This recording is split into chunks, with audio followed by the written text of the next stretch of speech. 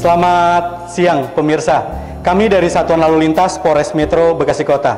Hari ini, Rabu tanggal 26 Desember 2018, saya sudah berada di ruang pelayanan Satlantas, ruang, ruang pelayanan SIM Polres Metro Bekasi Kota. Dan di tengah-tengah saya sudah ada AKP Indira selaku Kanet Rekiden Polres Metro Bekasi Kota. Selamat siang Ibu.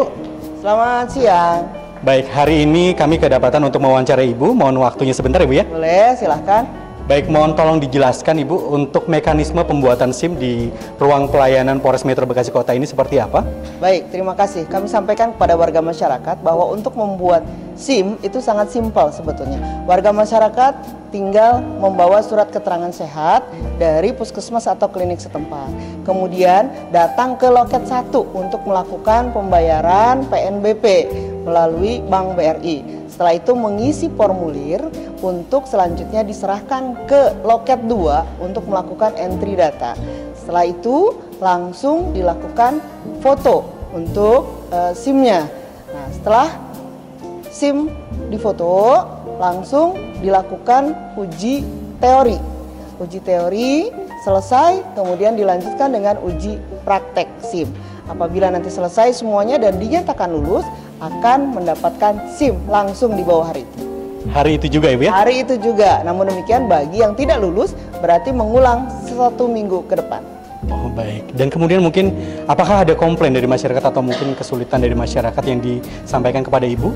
Baik, komplain dari masyarakat mungkin dahulu sering sekali ada keluhan dari warga masyarakat terutama terkait dengan adanya calo.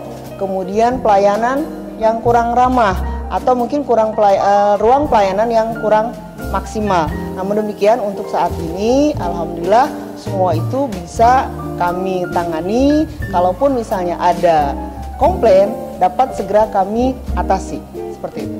Baik, berarti perubahannya sangat signifikan ya Bu ya? Betul, sangat signifikan sekali dibanding dengan yang sebelumnya. Dengan perubahan tersebut, apakah ada inovasi-inovasi yang diberikan kepada masyarakat Ibu?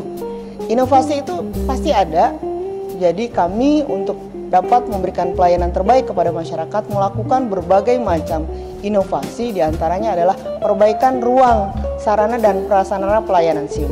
Kemudian kami juga melakukan satu kegiatan pelatihan praktek untuk mengemudi roda 4 supaya warga masyarakat yang kesulitan itu bisa melakukan latihan. Selanjutnya kita juga membuat latihan uji teori melalui website dan yang paling eh, grace lagi saat ini bahwa kami melakukan pelayanan perpanjangan SIM selama 24 jam full setiap hari.